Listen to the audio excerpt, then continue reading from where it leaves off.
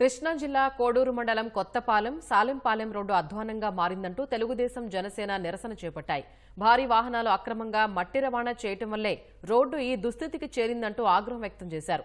రోడ్డుపై ప్రయాణిస్తే క్షేమంగా ఇంటికి వెళతామనే నమ్మకం లేదంటూ వాపోయారు. భారీ గుంతల వల్ల వారం రోజుల క్రితం స్కూలు బస్సు కాలువలో పడిందంటూ మండిపడ్డారు. ప్రభుత్వం ఇప్పటికైనా రోడ్డుకు మరమ్మతులు చేపట్టాలని డిమాండ్ చేశారు. క్రితం ఎన్ఆర్ఐ వికాస్ పాఠశాలకు సంబంధించిన బస్సు ఒకటి ఇక్కడ ప్రమాదానికి గురై అందులో పదహారు మంది పిల్లలు ఆ రోజు ఇక్కడ కాలువలోకి ఆ బస్సు వెళ్ళిపోవటం కూడా జరిగింది. ఒక అదృష్టం ఏంటంటే ఆ రోజు కాలువలో నీళ్ళు లేకపోవటం వల్ల ఆ పిల్లలు క్షేమంగా బయటకు వచ్చే పరిస్థితి ఆ రోజు. ఈ రోజు ఇక్కడ కొత్తపాలెం నుంచి సాలంపాలెం రోడ్. అదే విధంగా రామకృష్ణపురం రోడ్ చూసుకుంటే ఆ రోడ్. అన్ని రోడ్లు ఈ రోజు దయనమైన పరిస్థితుల్లో ఈ రోజు ఇవన్నీ ఉన్నాయంటే ఇది కేవలం ఒక వైఎస్ఆర్ ప్రభుత్వం ఒక నిర్లక్ష్యం. ఎక్కడ కూడా ఏ పని చేయకోకుండా అన్ని కూడా మసిపోటు మా చేసి చేసి ఇవాళ అన్ని చేయడం జరుగుతుంది ఒక ఆయన అంటాడు ఒక ఆయన అయిపోద్ది అంటాడు ఒక ఆయన మొదలు పెడతాం అంటాడు ఒక మాటకి మనిషికి ఒక నాయకుడు ఒక నాయకుడు పొంతలు లేని మాటలు చెప్పి వాళ్ళ ప్రజలను మభి మభ్య పెడుతున్నారు.